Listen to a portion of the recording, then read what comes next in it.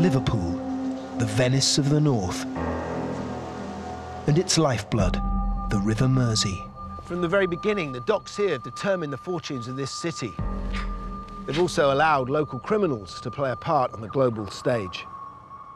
The most infamous was Curtis Warren, known as Cocky, a leading figure in the Liverpool Mafia and an international drug smuggling ring that controlled Britain's £2 billion a year cocaine business. The only known criminal to make it onto the Times rich list. But Liverpool gangs haven't always been such high rollers. In the 19th century, the stakes were much smaller. An innocent man was kicked to death for just a few pence. It was a crime so violent it caused public outrage and became a landmark in the war against gangs in Liverpool. We'll be looking at two very different gang crimes one for sixpence, another for 40 million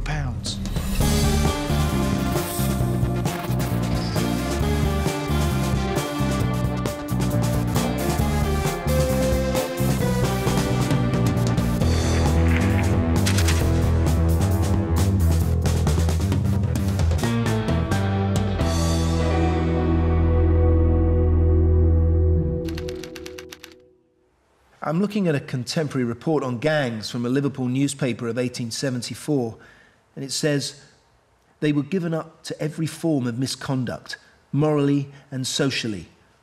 They preyed upon society and degraded the very instincts of society. They were the cornermen.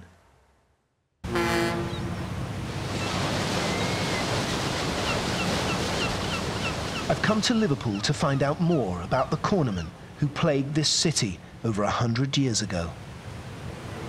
No wonder they used to call Liverpool the Venice of the North, so imposing. And all that grandeur and wealth came from the docks.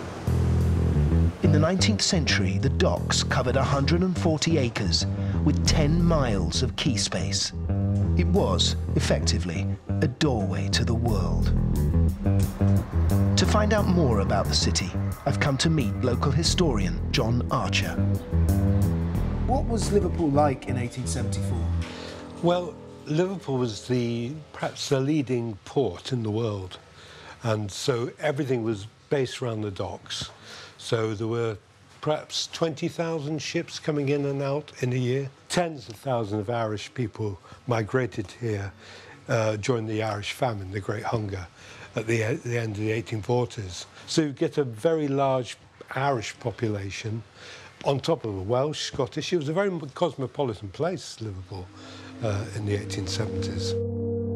Liverpool underwent a massive population explosion.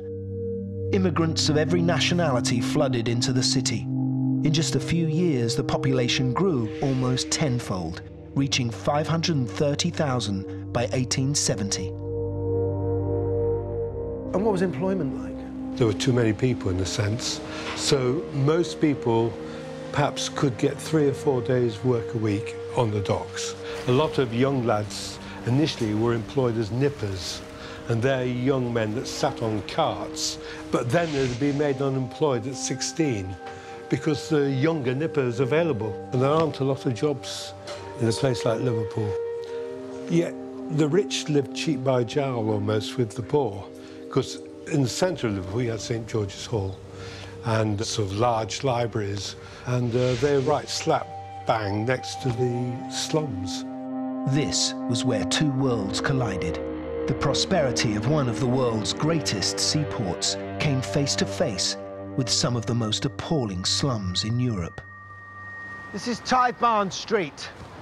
That way, it goes down to the Mersey and the docks and opens up to the sea with all its promise of opportunity and adventure.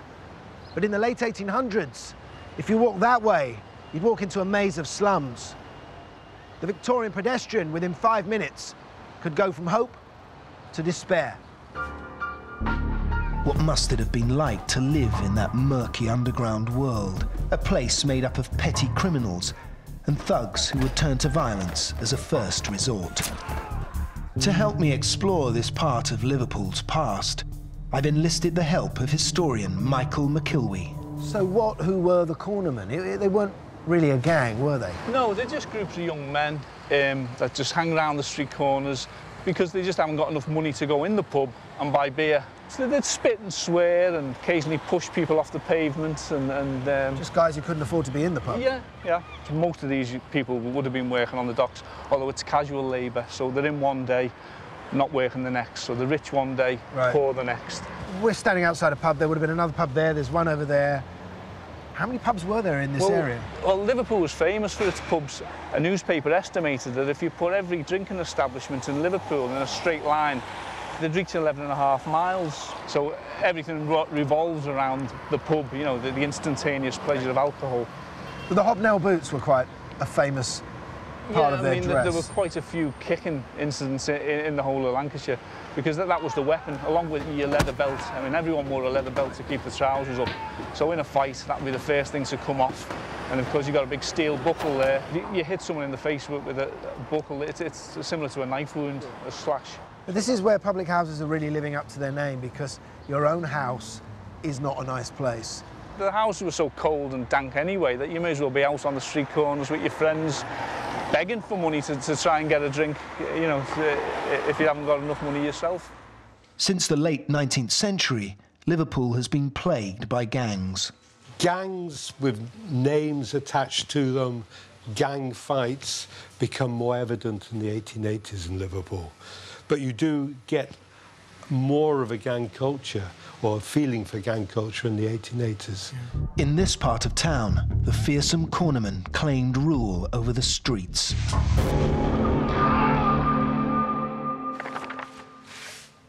This is a map of the city back then. And this is Tithe Barn Street, running along here to the docks, with their huge berths all full of container ships. And up here, this is where our cornermen would have hung out wearing their trademark boots, their soles covered in deadly nails. The beatings they would hand out saw their notoriety soar, and they soon became known as a menace not to be messed with. So they were violent, usually drunk, and fairly disorganized. The opposite of the guy I'm looking into. Curtis Warren, born 1963. Unlike the cornerman Gary's looking at, this guy is full on. He operates on a much bigger scale. A drug baron in the Liverpool Mafia whose efforts made heroin and cocaine available to both rich and poor in every town in the UK. He rose from the street to make it onto not only the Times Rich list, but also onto the top of Interpol's list of most wanted men. Curtis Warren was the second son of a mixed race seaman from South America who lived with his Spanish wife. Regarded as half caste, he fell into neither the white nor the black gangs of the city and had to prove himself all the more. He grew up in the Granby area of Toxteth. There were alehouses, clubs, prostitutes, and strip joints. Old West Indians in Panama hats smoked ganja. Women in saris ran stores. Hindus, Muslims, Rastafarians, and Christians all mixed together. I'm here to meet journalist Graham Johnson, author of The Cartel and Powder Wars, who can tell me a bit more about Curtis Warren. So this is Toxteth, where Curtis grew up. Yeah. What was it like during those years? The drugs cartel started here 30 years ago, and this is where people like Curtis Warren and other cartel godfathers came from. What, these streets? Yeah, just around here, yeah. Now, there are parts of Toxteth which are very gentrified, and lots of money has been poured into it. But then, it was poverty-stricken. It was one of the most deprived parts of Europe. So you had a lot, a lot of connections to the docks. But listen, they all closed down in the early 80s. Loads of jobs went, 25, 30% unemployment round here. So it all kind of accumulated into the riots. Yeah. Did that change everything? Yeah, it changed everything. It changed uh, the criminal landscape. The riots were really an uprising. They were caused by deprivation and kind of racist, heavy-handed policing. And this was effectively turned into a no-go area. The police didn't want to come in here because uh, it was difficult for them to mount patrols and there were lots of tension between the police and the local population. You had a lot of kind of alienated people who couldn't find work and it was like a pool of unemployed foot soldiers who thought, well, if we can't work in the, in the legitimate economy we'll work for the local drug dealers. It was kind of spun as a kind of, if you're doing this, it's a political act as well as a criminal act. It's kind of a rebellion against uh, mainstream society. Age nine, Curtis Warren would climb through small windows and burgle homes. By 11, he dropped out of school and was carrying out muggings and armed robberies. At 12, he was stealing cars. As a teenager, he progressed to selling heroin. Well, Curtis Warren growing up around here, he must have just. I can understand where he's coming from, to be honest, because he must have just wanted to better himself. And you can understand why I think that kids that are living in these areas turn to crime. I mean, why not? I mean, some of these places that you're looking at, people live better in prison. I want to find out why Liverpool became a different city after the 80s riots and how they transformed the city's underworld. Uh, let's start at the beginning. How did the Liverpool Mafia come about? After the war, crime in this city was based around uh, commercial burglaries. It was based around smuggling contraband through the docks. So the, the, the crime gangs, both black and white, were pretty good and pretty experienced at getting you know, stuff through the stolen gear through the docks, getting it out and distributing it. They had a good import network, but what they needed was a good distribution network Right. on the ground. Yeah. So after the riots, there was a very kind of convenient alliance was made between these white middle-aged criminals, these former armed robbers, and uh, young black criminals from Toxteth. This alliance coincided with a massive influx of hard drugs into Britain heroin and cocaine.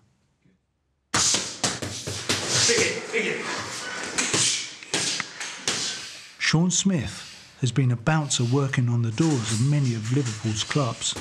He noticed a dramatic change in the city when the white and black gangs first started operating together.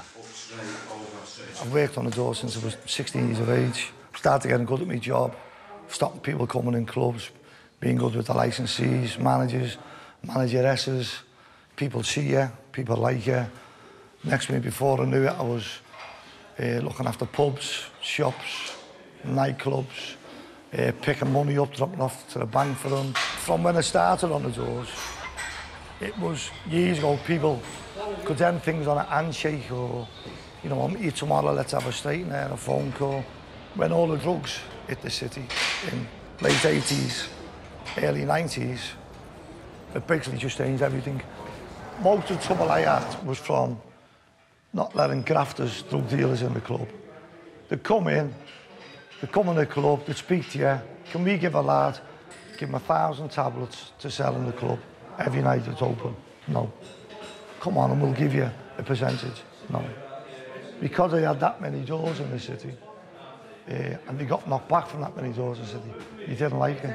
So we started getting problems. These people would leave the club. Your doorman would leave, the folly one or two, your doorman home. They'd be getting it over the head with bats or the car blew up. Then it'd be going, you own the company, we're going to come and get you. We work for, he's a big name in the drugs, we work for him, he's a big name in the drugs. We've got the money backed up by him. We'll burn your house, we'll torch your cars, we'll cough for all your doorman, we'll cough for your beard, and then we'll cough for you. And the drug culture and the impact they had on the city just changed everything. I was shot at umpteen times. It's documented, it's been in the papers. I've had my house blew up, I've had cars blew up. Uh, I've had my young daughter attacked. I've had my wife attacked. I've had a threat of warning. Someone tried to shoot me in my house. But it's just a thing I didn't abide by. You know, if, if people want to take drugs, and that's their choice. It's not my choice. But at the end of the day, I've seen what it does to people. It wrecks people's lives. I want to find out how Curtis Warren, a street level dealer, became such a big shot. Tell me about uh, Curtis Warren. Yeah. Right. So he starts off in Toxteth as this kind of small-time drug dealer, Yeah. and ends up practically sitting on top of the pile with Yeah. the Liverpool Mafia. How Yeah. does he do that? Well, he started off as a, as a burglar, and then he got involved with a travelling network. Um, what the, th- these were kind of the unique uh, to this city. These were networks which would go out across the country to commit crime. Yeah. Scotland, Cornwall, London, the South Coast. And they'd be doing burglaries and selling drugs and whatever. And he got involved with one of them. And he got involved with one which went to Europe. And that was partly down to the football. Liverpool were doing well in the early 80s. So you got lots of fans who were going abroad. And then they were getting nicked in places like Amsterdam and Rotterdam and Germany. They were going in jail. They were making contacts within the jail. And then and, and they started to build up a kind of a little drugs network. Is that how he, he started to travel through Europe because of the football? When I was growing up, there were lads in school who would get off school and go and do this. And he was involved in that. And then what he got involved in was uh, robbing tills and doing jeweller shops abroad. So he was kind of apprenticeship in how to do business abroad. Warren had several advantages over his rivals. He was brighter, smarter, began to spread his net out wider. After a five-year prison stretch for armed robbery, he came out, made several trips to Europe.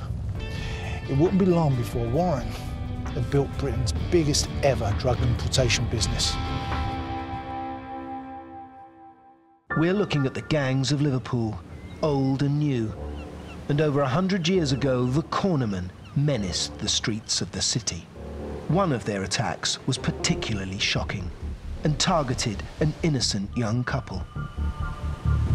It was Bank Holiday Monday, August the 3rd, 1874, when Richard Morgan and his wife Alice were on their way back across the river after a day trip to Birkenhead. It was around 9 p.m. when they got off the ferry and they met Richard's older brother Samuel.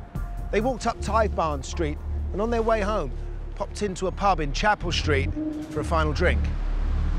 They were ordinary people on an innocent night out. The events that were about to happen would not just shock this city, they would become a landmark tragedy in the history of gangs. Even though he lived in a poor district, Richard was a respectable shop worker, a married man in regular employment, something to be proud of in a city like Liverpool. So early that evening, Richard Morgan, his wife Alice, and his brother Samuel had come off the ferry and were coming back up Tithe Barn Street and popped into a pub, probably this one, for a quick drink. Coming out, they were surrounded by some cornermen, and one asked Richard if he had sixpence for a quart pint. Richard said, Have you got a job? And at that point, one of the boys said, Yeah, we got a job. We knock down people like you and get their money off them. That's our job. His wife Alice said, Let's go. Come on, come away. And as Richard turned, a blow was landed behind his ear and he fell to the ground, never to get up again. His brother Samuel retaliated at once, knocking the assailant down. One of the gang whistled for backup. A third man started kicking Richard and then fell on top of him and choked him for what seemed like two minutes. Alice's wife, jumped on him to try and protect him, and someone took a running kick at her. She then came up and was hit in the ear and remained deaf forever after. His brother Samuel was lashing out at others who were trying to attack him. Crowds poured out of these pubs, and instead of protecting Richard and his family, they egged on the perpetrators. And one woman was heard shouting, Give him it! Give him it! Richard was being hit and kicked. Someone took off their belt and scrutched him. But by this time, Morgan was dead. Then the perpetrators got up and ran down one of these side streets here. Samuel ran after them, but a knife came out. He was then attacked from behind and dragged away. Finally, they said, up to seven men kicked Richard Morgan across the width of Barn Road, distance of about 40 feet, like a football.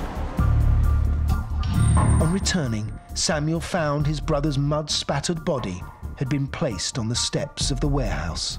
Someone was trying to give him brandy, but he was unable to drink it.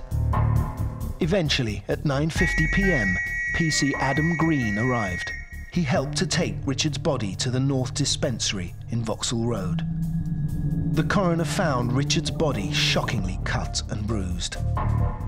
What appears to be a stab wound is identified on the left side of his neck. On his right thigh are two similar wounds. So I think what sort of riled these cornermen was probably Richard saying, where do you work?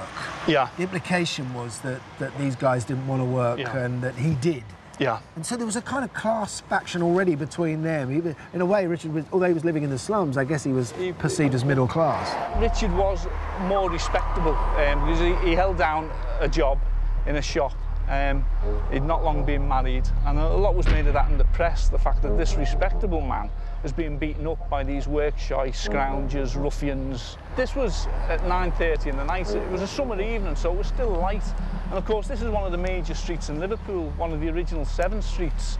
This wasn't some um, rough back alley uh, hidden away from the patrol and policemen. There were lots of witnesses to the crime, Yeah. and yet nobody intervened. And not only did they not intervene, but some of them, including women, actually shouted encouragement to the attackers, such as "Give it to him, give it to him." And in fact, some of the men then joined in the kicking, and that was so shocking uh, at the time.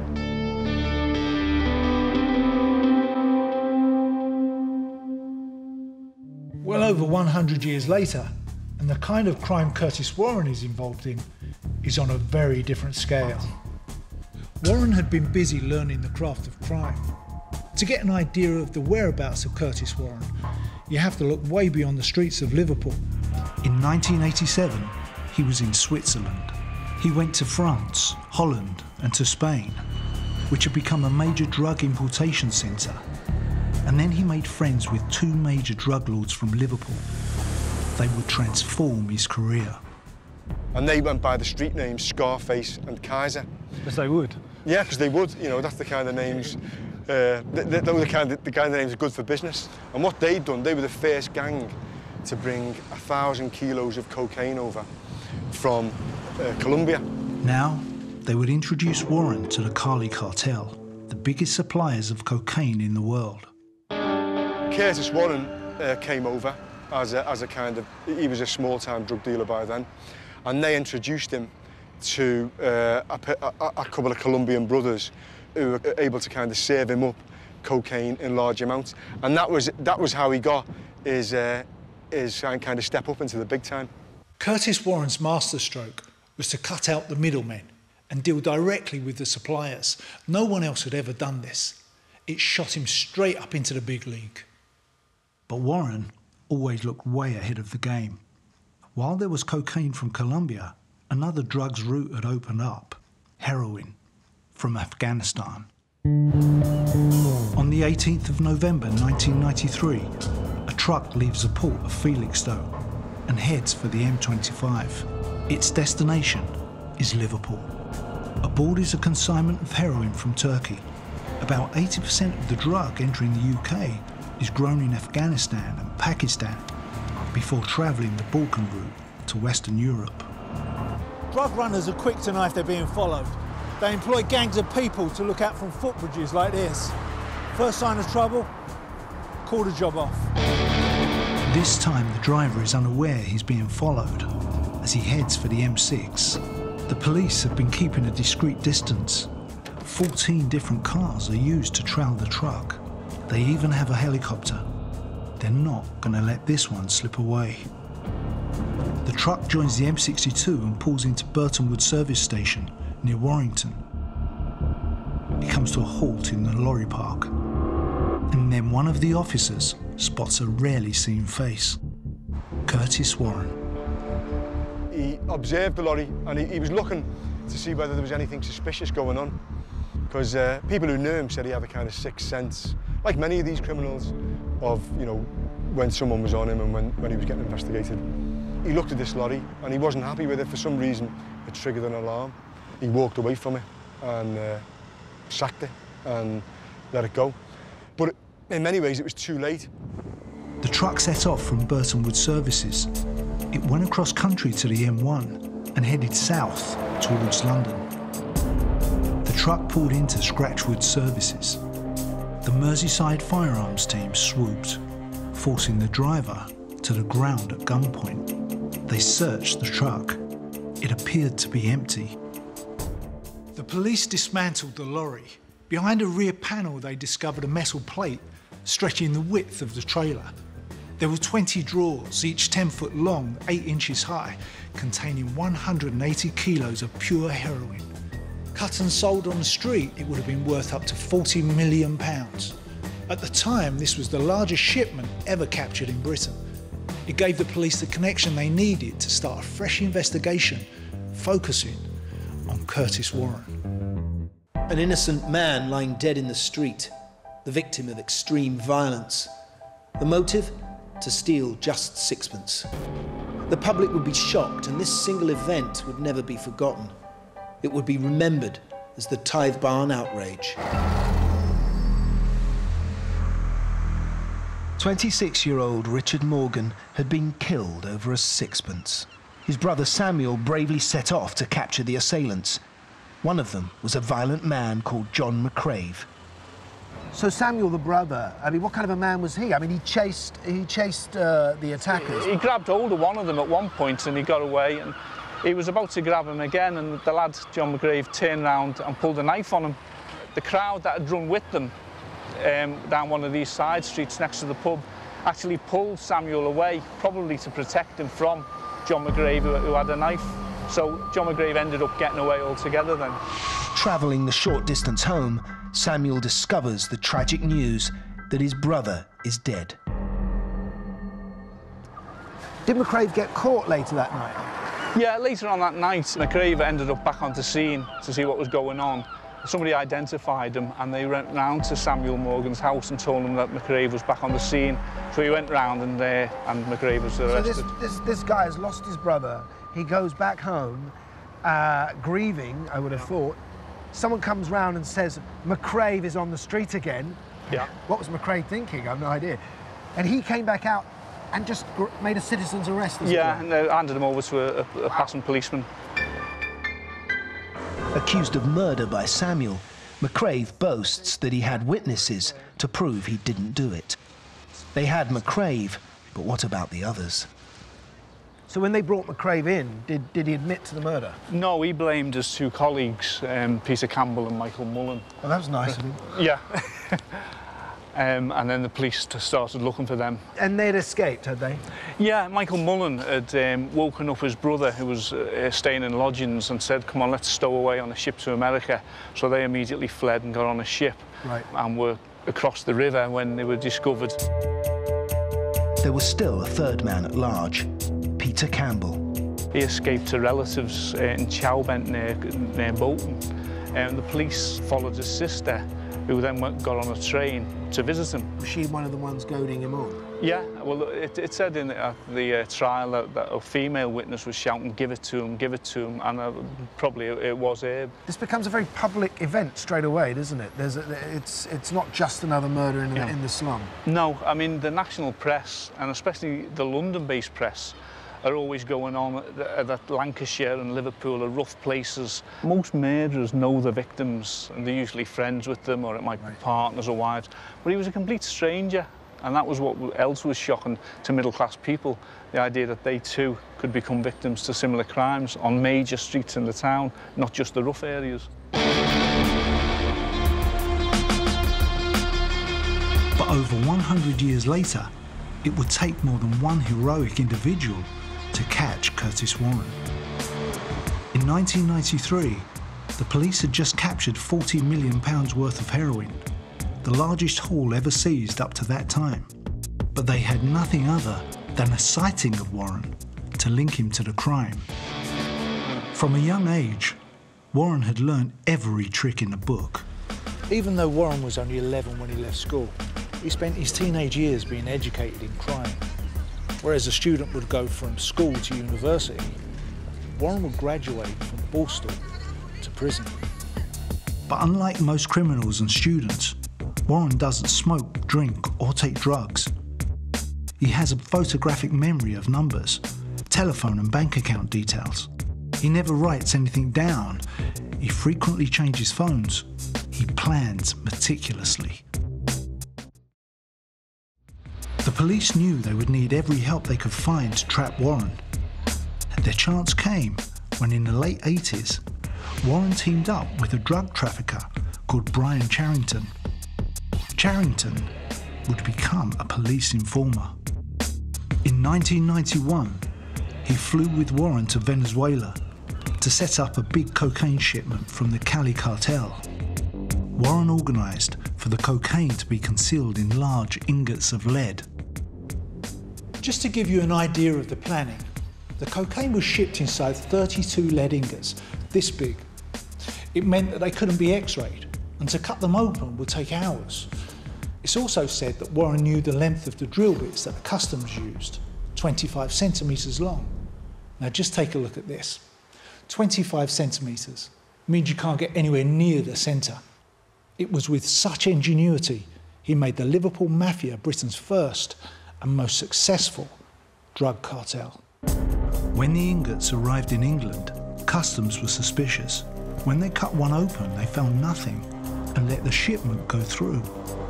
Only moments later, they got a tip-off from the Dutch police, warning them that there was a cocaine shipment inside them. But it was too late. The ingots were already on their way to Liverpool. Inside was the cocaine. Warren's cut was an estimated 87 million pound. But even Warren's sixth sense couldn't predict that Charrington was informing the police. Now, at the same time, in another part of the operation, uh, one of Curtis Warren's partners, a used car salesman from Middlesbrough called Brian Charrington, he was informing on Warren. So slowly but surely, the customs and excise were, were building a picture of, uh, of their target one. But drug money has a habit of corrupting every level. The case against Warren would collapse. Even though they connected him with the lorries, Yeah. he walked free, right? The case against him was weak, and this was partly because there were complications to do with the supergrasses that were kind of involved in the case, particularly to do with this, his partner, Brian Charrington. There were allegations of uh, police corruption. There was a kind of murky involvement, uh, kind of higher up the chain involving MPs and the kind of Chan Lord Chancellor's office and so on. So anyway, the, the bottom line was that uh, the case didn't stack up. Warren got off, despite another supergrass testifying against him. Now, if anyone knows Curtis Warren, it's this next guy we're going to see. He's Paul Grimes. Stood up in the dock, faced him, gave evidence against him, and is now known as a supergrass. Paul has just texted me his number and his address, and we're off there now, so uh, we'll see what he's got to say. How did you uh, first meet uh, Curtis Warren then? I had a scrapyard in Greenland Street, South End, and he was he was going round little factories demanding money off people that worked in them and all this. And I comes back to the yard and that the lad in that he was looking after, he said, this fella's been in, blah, blah, giving it what for, he wants money. And he said, I couldn't give him none because we had none. I said, you don't give no one any fucking money out of my drawer. Comes in, walked past me and my brother, went in the office and started giving him what for, and I walked around and went, who the fuck are you, you little cunt? Yeah. I said, you don't come in here demanding money off any fucking one. I said, I'm telling you now. So the next I kicked fuck out of him, phoned him an ambulance and put him in an ambulance. And the next thing he was in jail and he's on the drug scene. How did you get involved in that whole ingot thing then? Because I had the scrap metal business. My brother was involved with the people that got involved with Warren. And they phoned me up to sell the ingots. After extracting the cocaine from the ingots, Warren had ordered his gang to bury the lead. But instead, some of them tried to sell the ingots to make a bit more money. When Grimes learned what had been inside the ingots, he informed customs. Paul Grimes gave evidence against Warren in court. He couldn't believe it when Warren got off. When they, all, they got nicked and all that, he, he walked out to court Yeah. because the customs fucked up on him. So were you worried about that No, when he when he walked free? no. It didn't bother me at all. I was still walking round. I tell you one thing that I did do though for a while, I carried the shotgun around with me. So on off. It must have been a worrying time for you. At that time, yeah, for the first couple of weeks and all that, and then once it died down, that was it then. What made you uh, decide to bring him down? Because of, because of him up there. Paul's son died a heroin addict. It hardened Paul's resolve to try and right some wrongs. He didn't mind crime, but he had no time for drugs. If he was doing what I was doing, robbing banks and all that, good luck to them. But once the drugs and my son died of the drugs, Dad didn't give a fuck who he was or who, who they, I just have them in the story. And as I said before, I stood on over his grave and I said, I will get these people for you, and that's what I done. So we just come out of Paul's house, and there was one question in my head before we got there, and that was uh, why he turned against uh, Warren, and what gave him the kind of momentum to get up there in the stand and, and face Warren in court and become a supergrass. And I think when he told us the story about how his boy died on the drugs that they were bringing in, it all kind of makes sense. Um, I think any father would feel the same. I don't think, I think you stop caring about your own life and uh, you go after the person that you think killed your son. So I can understand it. It makes sense to me now. Warren had walked. Although Merseyside police had captured two huge shipments, they had missed Warren every time. In 1996, Curtis Warren relocated to Holland to a secluded and well protected house in the quiet town of Sassenheim, lying between Amsterdam and The Hague. But this wasn't retirement. Warren carried out business as usual. The, the authorities decided that if they were to go after him again, they would have to kind of streamline the operation. And in this case, the Dutch authorities took the lead. Despite Warren's careful planning, there was one thing he didn't expect. In Dutch law, it's legal to wiretap without a warrant and use it in a court of law. The Dutch police were listening in to all of his activities. Time was running out for Curtis Warren. He was Interpol's target number one. By 1996, Curtis Warren was a very rich and powerful man. He stashed his money away in Swiss bank accounts. He's said to have owned over 300 houses in the northwest, mansions and office blocks in Britain, casinos in Spain, his villa in Holland, discos in Turkey, property in the Gambia, and even a vineyard in Bulgaria. He could have retired to a tropical island never to be seen again. But this was Curtis Warren. Another shipment was already underway. You know what fascinates me though is why didn't he stop when he had all the money, when he was sitting at the top? Why did he go back to Holland and start bringing in more when he didn't have to? Yeah, well, that's a good question. And, uh, well, the whole, you know, listen, the whole thing is driven by vice, it's driven by greed, it's driven by a lust for power, which for me and you, it's difficult to kind of get our heads around it. And that's what it was. And I remember one of his best mates asked him that question, why are you doing this? And he said, well, it gets me out of bed in the morning, otherwise I'd be sat at home, you know, in my boxer shorts watching Richard and Judy on the telly. This time, cocaine from Venezuela was shipped to Bulgaria. On October the 24th, 1996, the consignment arrived in Holland. That night, Dutch SWAT teams raided Warren's home and a warehouse. And through a complex kind of undercover uh, surveillance operation involving wiretaps, they managed to catch him red-handed, bringing in uh, another superload of cocaine. He goes to trial, it stacks up, and he goes to jail for, for a long time. The top five men in Warren's drug ring were among the 10 men dragged from their beds and arrested. The police confiscated 400 kilograms of cocaine, 60 kilos of heroin, 1,500 kilos of cannabis, and 50 kilos of ecstasy. Their street value, 125 million pounds. Simultaneously, British police searched premises across northwest England to arrest the gang's other cohorts. This was the culmination of Operation Crayfish, the biggest joint investigation at that time ever mounted by the police and the customs officers.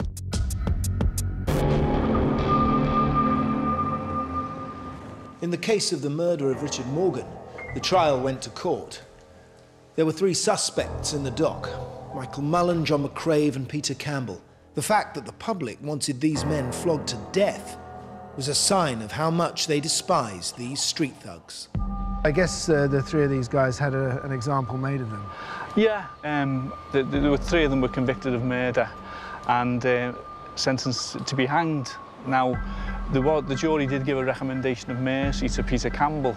Because he was respectable, people did um, put up two petitions in favour of him escaping the death penalty and uh, he was granted a reprieve right. and sentenced to 20 years in jail instead. The Tithe Barn outrage sparked a public debate about gangs and street violence that pinpointed unemployment, housing conditions, punishment, police inefficiency and lack of political will as root causes. Crime had moved to the top of the political agenda in Britain and um, a lot of newspapers were finding that crime sold newspapers. Was there a sense that the police weren't doing enough? The police had allowed the cornermen more and more control of the streets. That is, the police hadn't moved them on. The police walked by the groups of young men on corners. They weren't forced to move on, which is what police were meant to do. This made the cornermen even more disrespectful of the police. Right. Um, they've sort of given them a sense of power. Many articles were published about the incident in London newspapers and journals. The story touched the nation. Alice Morgan was quoted as saying, My husband was murdered for sixpence. All they got from Richard Morgan was sixpence, and, and that became quite a statement that Richard's life was only worth sixpence. Which it was what, worth yeah. murdering someone yeah. for that amount of money. There was a rage for drink in this town. That they, they said that Liverpool had a drink problem in a sense and, uh, this murder sort of encapsulated that. Although violence was not unique to Liverpool, what seemed to single out the town was that such violence seemed to be approved by the lower classes of the town and not condemned strongly enough by the more respectable inhabitants. So Liverpool itself was condemned as negligent and corrupt. Did this change anything? No, well, the funny thing is, a couple of weeks after the murder, um, there was another um, gang beating of, a, of an innocent man who was beaten with belts and kicked. And as they were kicking him and, and beating him, the, the, the lads were shouting, we don't care if we hang for it like McCrave and Mullen. So it meant absolutely nothing to them. And in fact, three years later, the sister of one and the brother of another ended up kicking another man to death. Did people recognise that the poverty and the slums and the unemployment of Liverpool was what was really causing this trouble.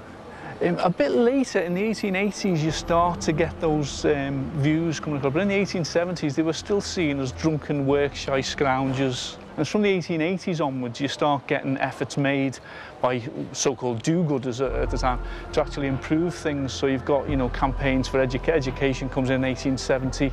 Uh, you've got um, campaigns for better housing, um, temperance campaigns to save people from uh, drink, and also the, the rise of boys' clubs um, and early youth clubs. Yes. That all starts coming in to start tackling this problem of young people hanging about on the streets and, and the violence and the binge drinking.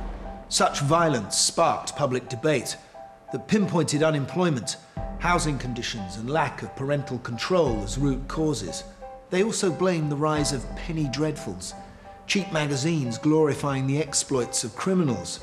In the same way video games are blamed today, some things never change.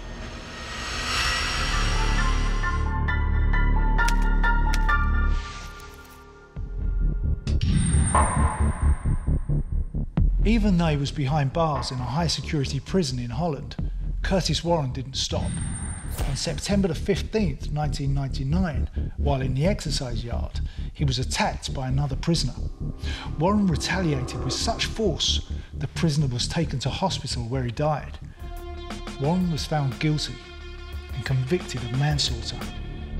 In 2005, he was accused of running a drug smuggling cartel from his cell but the case was dropped because of insufficient evidence. Warren was released in June 2007 and returned to Liverpool. If he got out of jail, the first thing he's looking to do a deal, he's looking to do some graft, he's looking to link back up with his old mates. He's not looking to go straight, uh, or he's not looking to kind of retire.